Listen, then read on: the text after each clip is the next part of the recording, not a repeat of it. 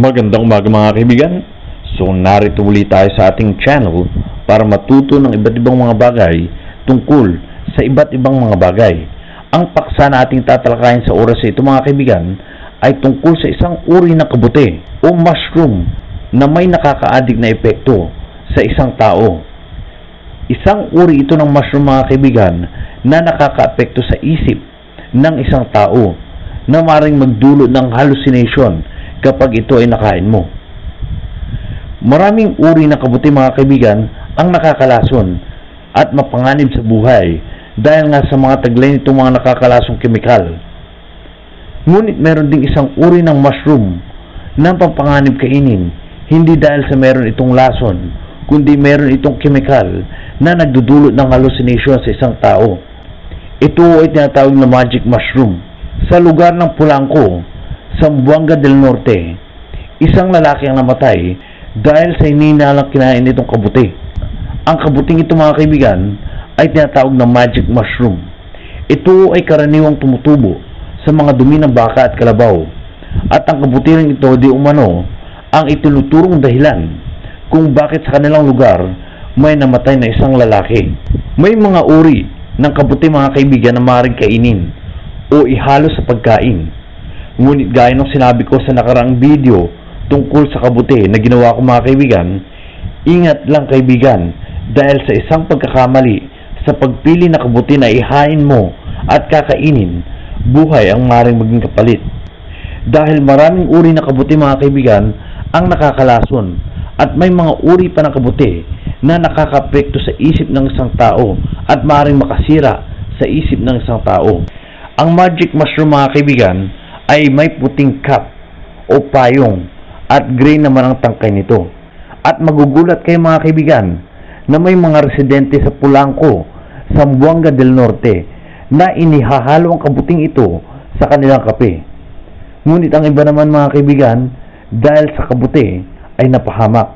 Tulad ng nangyari sa isang 14 anyos na lalaki mga kaibigan na nagngangalang Elmer, hindi niya tunay na pangalan kwento ng kanyang tatay ni si Lucio, pinauwi di umano ang kanyang anak na si Elmer mula sa eskwela dahil sumama ang pakiramdam nito. At dahil nga malayo ang ospital, sa albularyo nila dinala si Elmer.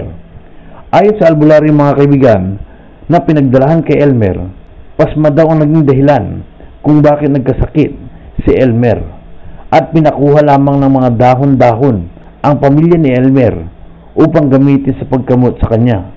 Ngunit mas lumala pa ang kalagayan ng Elmer. Nanigas ang kanyang katawan, hindi makapagsalita at tila nagdideliryo na siya mga kaibigan. Na ayon sa tatay ni Elmer, sinasabi daw sa kanya ng kanyang anak na napakaingay na tila daw may pumapasok na ingay sa kanyang tainga. Tila may hallucination na siyang nararamdaman mga kaibigan hanggang sa tuluyan ng manghina si Elmer at napagdesisyonan ng kanyang pamilya na siya'y dalhin sa ospital. Ngunit dito na siya sa ospital binawian ng buhay mga kaibigan. At ayon sa doktor ay cardiac arrest at sepsis di umano ang naging dahilan ng kanyang kamatayan. Hanggang sa may mga nagsulputang kwento sa kanilang barangay mga kaibigan na si Elmer di umano ay nagkaganon matapos kainin ang kinahukumalingang kabuti sa kanilang lugar. Bagay na kinumpirma ng kanyang kaibigan ni Siban, hindi niya tunay na pangalan.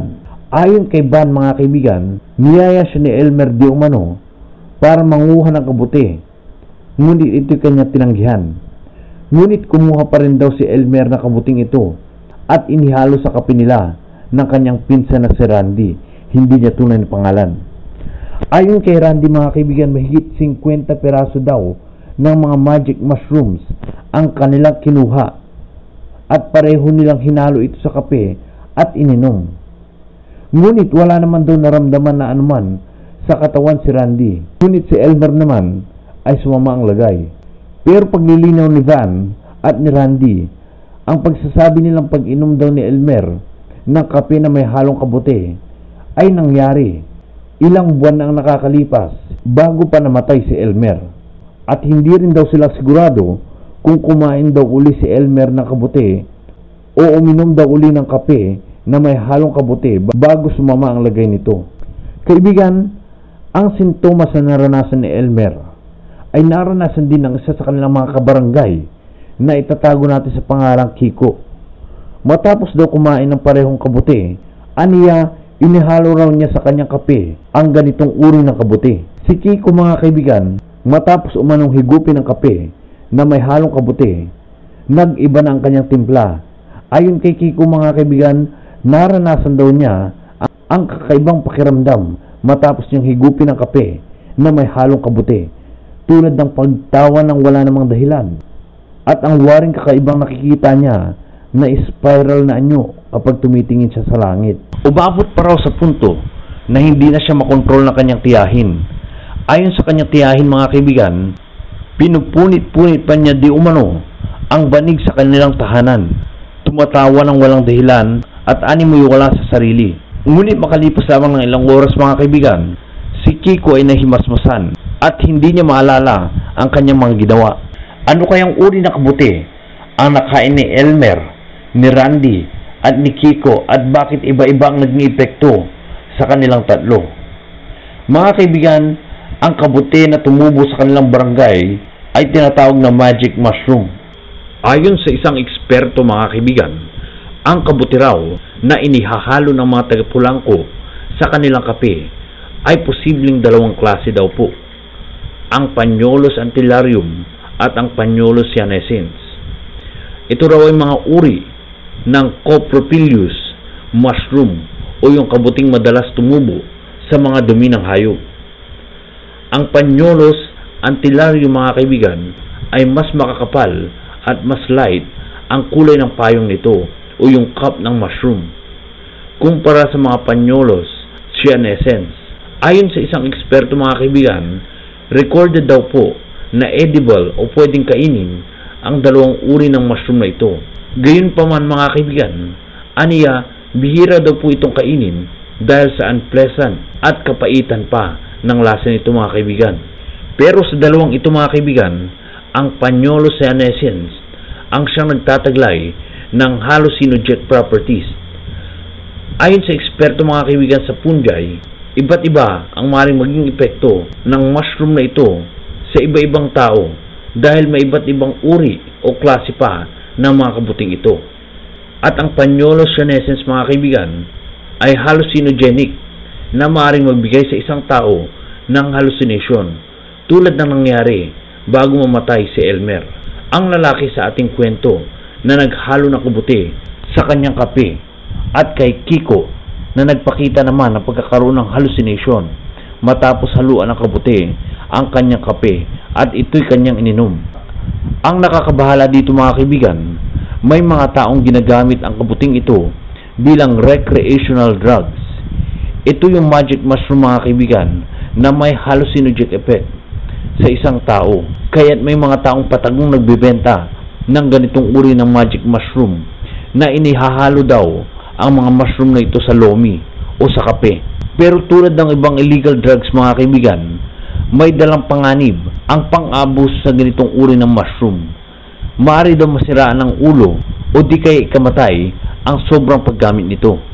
Katunayan niyan mga kaibigan, taong 2019 pa lang, ikinababahala na ng DepEd at Senado ang tungkol dito dahil may ilang mga estudyante sa mga liblib na probinsya na nahuhumaling sa ganitong uri ng kabuti.